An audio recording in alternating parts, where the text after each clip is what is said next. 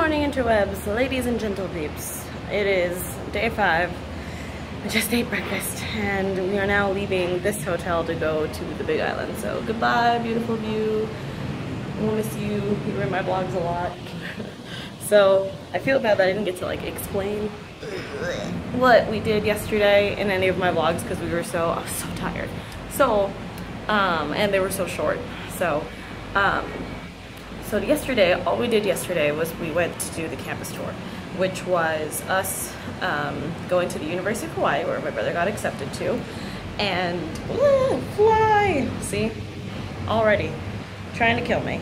Um, so, what was I talking about? Right, University of Hawaii. Um, and we did a tour. We walked for hours. We got there at like 12.30 and we didn't get out till like 4 from walking around the campus. Uh, campus is beautiful. Uh, it's a little run down because it was, it was made in like the 70s or the early 1900s, can't remember. Um, and it was nuts. I think the original campus was made in like 1907 and then like the dorms were made in the 70s because there's only like 10 students so you didn't really need to live on campus until way later. Um, and then pretty much we got back into our car, drove to get food, and then came back to the hotel and just rested. We didn't do really anything besides just the tour. The tour was so long, all we did was walk around the campus, and the campus is huge. So um, it was crazy.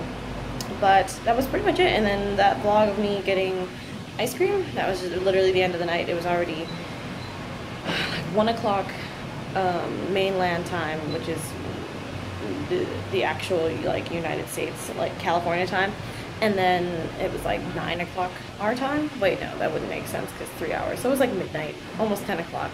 Um, and it's my favorite ice cream place. It's called Lampert's, uh, L-A-M-P-E-R-T-S.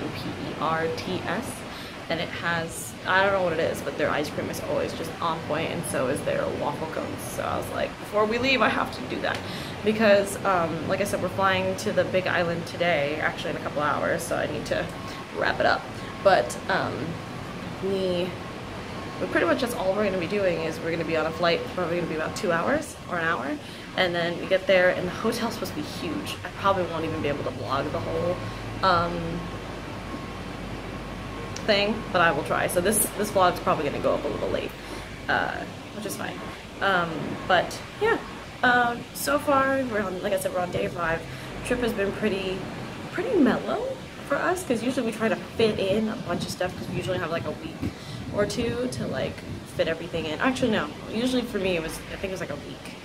So it was like eight days, and this one's ten days.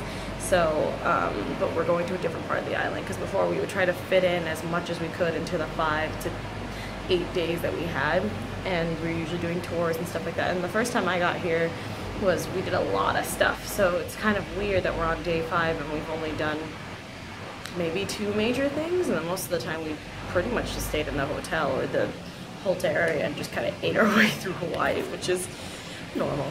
Um, but yeah, so um, again, I haven't been seeing as many comments, which is totally fine. Um, and you know, again, if you guys have any questions or like, what are you doing? Like, uh, what was Diamond Head? This and this and this. Um, go ahead and put it down in the comments below and I'll try to answer it whenever I can. Um, can't wait to show you the Big Island. It's going to be a totally different place because it's not as crowded as uh, Waikiki, so going be like nobody there. It's going to be interesting. But anyway, I will see you guys later. Keep fighting, keep flying, and um, see you guys after the flight.